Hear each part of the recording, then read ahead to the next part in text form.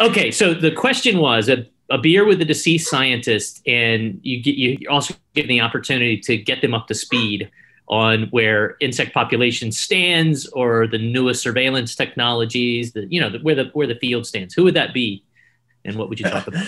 That's well. I, there's two spring to mind. Can I have two? Yeah, two, two's good. You take five. the, the, the first one was probably chosen by half your other guests, which would be Darwin. Of course, which is a of bit course. predictable, but but for the very good reason that he was a he really loved bumblebees. Um, you know, he he discovered loads of things about bumblebees for the first time. Um, I mean, including one of his more famous things was he um, uh, he, he studied the the way male bumblebees do this weird kind of patrolling to attract mates. They they mark out as kind of route, and then a whole gang of them race round and round and round it in circles all day long. Um, and he got his kids to to to sort of stand at different points on the route and shout when they saw the bee going past.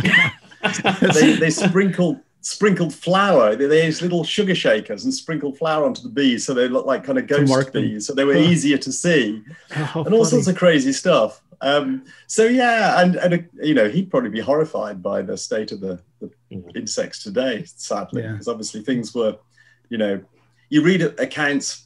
Well, so the other person I'd choose uh, lived really close to Darwin, um, but a little bit later, there's a guy called William Sladen, who no one's ever heard of, but he was kind of the, the first person to study bumblebees. And he wrote a book, the first ever book about bumblebees called The Humble Bee. Because interestingly, bumblebees used to be called humblebees, and then they then they became bumblebees about 100 years ago. Nobody really knows why. But anyway, that's another I didn't know that. another, another story.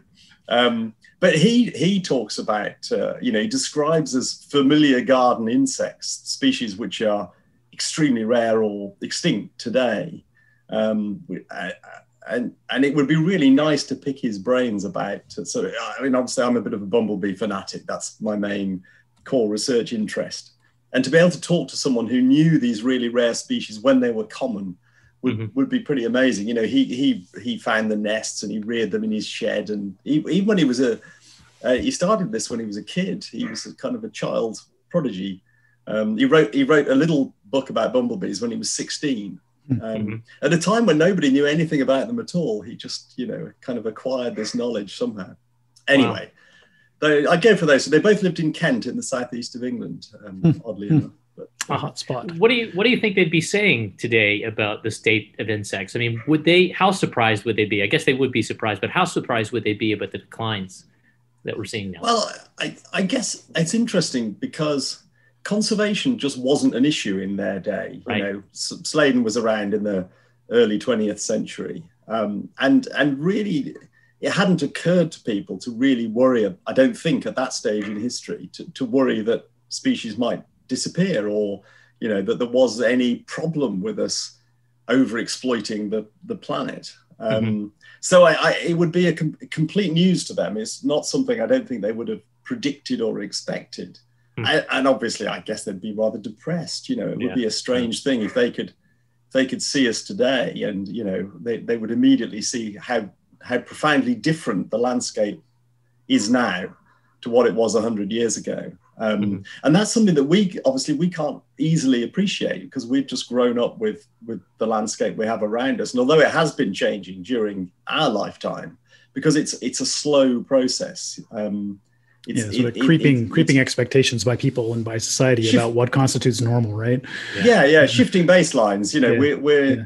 and i came across there was, a, it was an interesting paper in um, i saw the other day where they show these aerial photographs of a bit of french countryside.